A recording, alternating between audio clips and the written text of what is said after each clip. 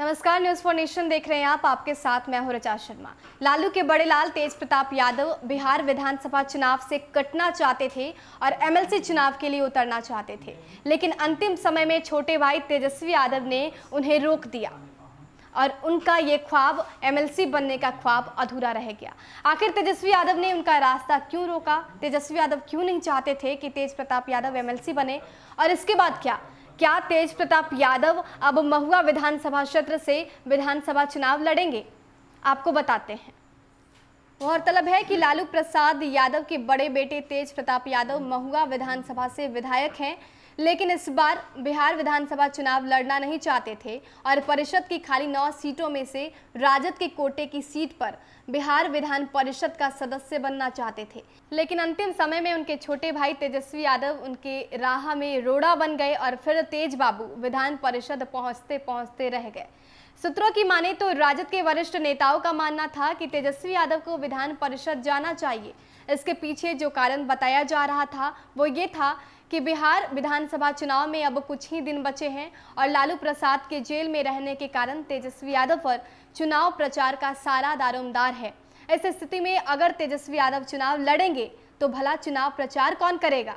राजद नेताओं का तर्क था कि अगर तेजस्वी यादव बिहार विधान परिषद के सदस्य बन जाते हैं तो उसी स्थिति में वे आराम से 243 सीटों पर खुलकर चुनाव प्रचार कर पाएँगे।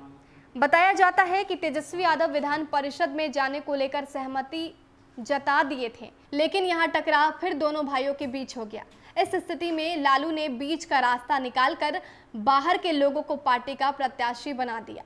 पार्टी सूत्रों की माने तो तेज प्रताप पर तेजस्वी के विधान परिषद भेजे जाने को लेकर लालू परिवार में कई बार मीटिंग भी हो चुकी है।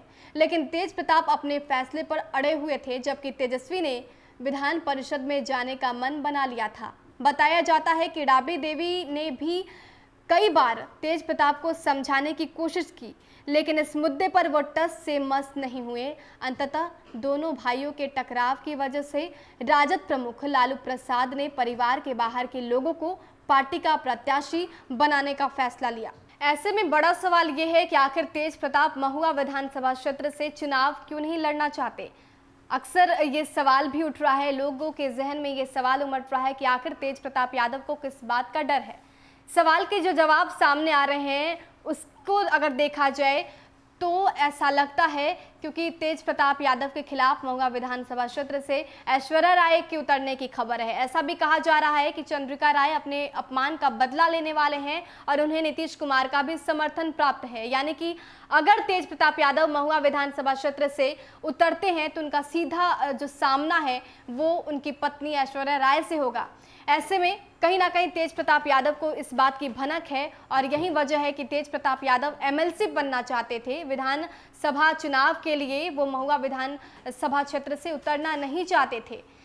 लेकिन अगर महुआ से तेज प्रताप यादव नहीं उतरते हैं तो ऐसा भी कहा जा रहा है कि ऐश्वर्या राय राघोपुर से उतर सकती हैं और तेजस्वी के खिलाफ ये बड़ी टक्कर होगी।